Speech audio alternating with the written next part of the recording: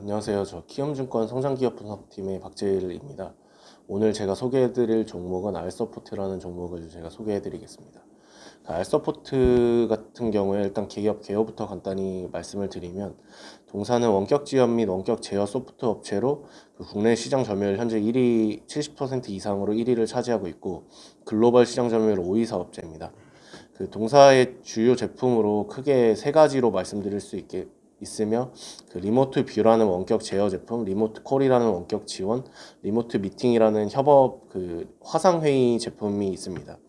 2019년 기준 매출 비중 같은 경우에는 RemoteCall이 약 70%, RemoteView가 24%, 그다음에 기타 7% 정도로 구성이 되어 있고 그다음에 국내 시장 점유율이 약 한 43%, 그다음에 수출이 57%인데 이 수출량의 95%는 일본향이라고 보시면 될 것 같습니다.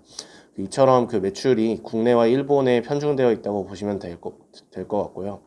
그리고 동사의 그 올해 포인트를 이어서 말씀을 드리면 그 일단 일본 텔레워크 및 국내 재택근무 비대면 서비스 확산에 따른 성장 모멘텀이 있다고 보시면 될 것 같습니다.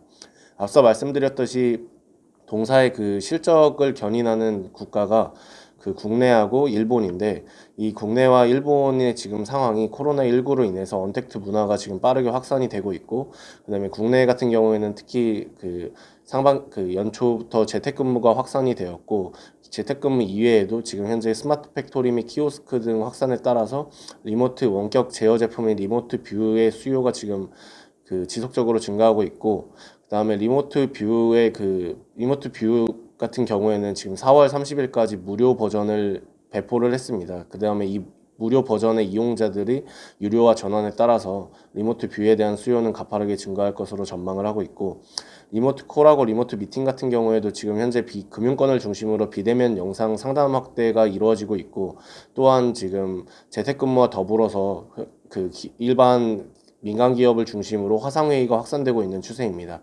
이에 따라서 그 나머지 두 제품도 수요가 가파르게 증가할 것으로 판단을 하고 있습니다. 또한 그 최근 정부가 발표한 한국판 뉴딜 정책 중 하나인 그 비대면 산업 육성에 따라서 원격 진료 및 원격, 교육도 향후에 확대될 것으로 보고 있고 이로 인해서 수혜가 수혜를 받을 것으로 전망을 하고 있습니다. 국내와 마찬가지로 일본 또한 지금 현재 텔레워크를 시행하면서 재택근무가 빠르게 확산이 되고 있고 일본 같은 경우에는 정부가 적극적으로 지금 주도하에 텔레워크가 빠르게 확산되고 있는 추세입니다. 그리고 또 그 일본은 일본 remote 이에 따라서 그 RemoteView의 수요가 일본 또한 증가를 하고 있고 RemoteCall 같은 경우에는 그 2대 주주인 NTT 도코모가 지금 안, 아, NTT 도코모 향으로 매년 5, 60억의 안정적인 매출을 기록을 하고 있습니다.